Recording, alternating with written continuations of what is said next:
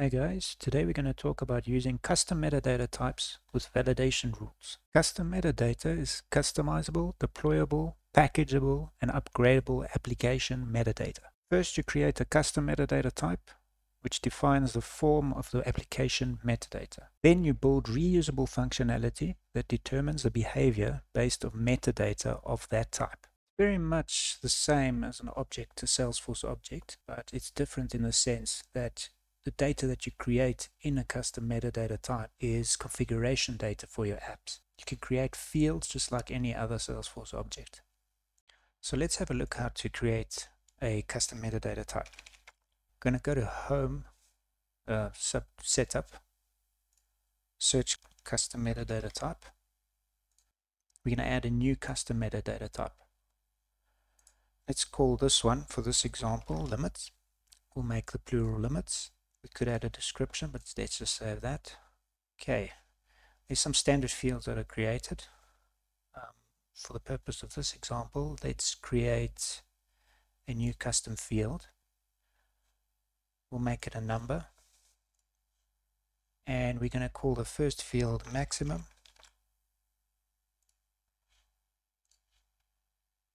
Add it to the page layout of this new custom metadata type and we will add another field called minimum which is also a number.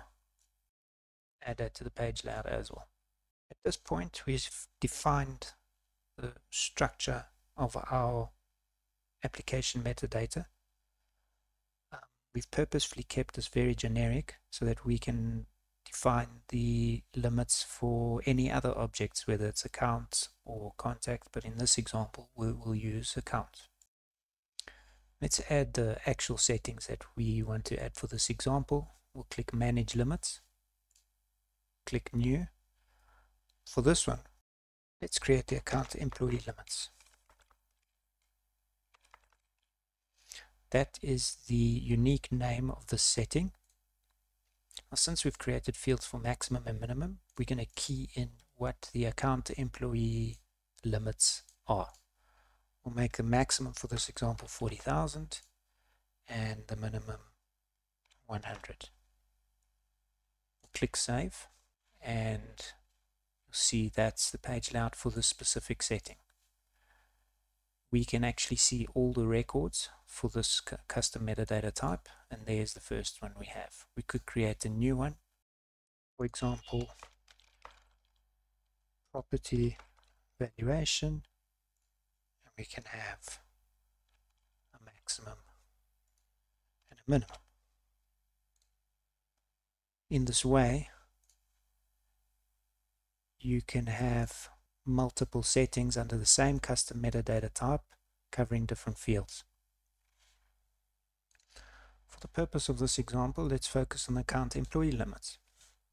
Let's go to account create a validation rule referencing the custom metadata that we just created.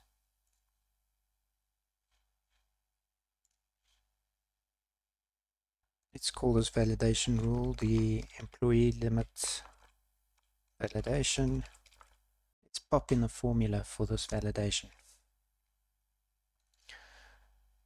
We'll add a OR function, meaning that if either or of these conditions are true, the validation message will pop up. We are going to reference the number of employees field. Now we have to specify whether the number of employees are less than the minimum value that we specified. So we'll say less than. In order to reference the custom metadata, you'll have to start with dollar $custom metadata you then have to put the name of a custom metadata type object. In this case, it's called limit underscore underscore MDT. Then you have to reference the actual label of the custom metadata you created, which in our example was account employee limits. Then you have to specify the API name of the field which we populated with data and that was called minimum underscore underscore C. The next condition that we will add to the logical expression is basically the same as the previous one, except we are checking if the number of employees are greater than the maximum value which we specified in our custom metadata. Check for syntax, no errors. We'll show the error on the field itself. And we'll just say that we are outside the appropriate employee limits. Click Save on that. Now it's time to see how this validation works. I've picked a random account on my hands-on org. I'm going to now change this account to have employee number higher than the 40,000 maximum which we specified. You see the error message from the validation rule. Similarly, if we go under the 100 minimum that we specified for our validation rule, we get the same error message. Anything between the 40,000 and the 100 that we specified for the maximum and minimum still works. And that's all it takes to use custom metadata types with validation rules.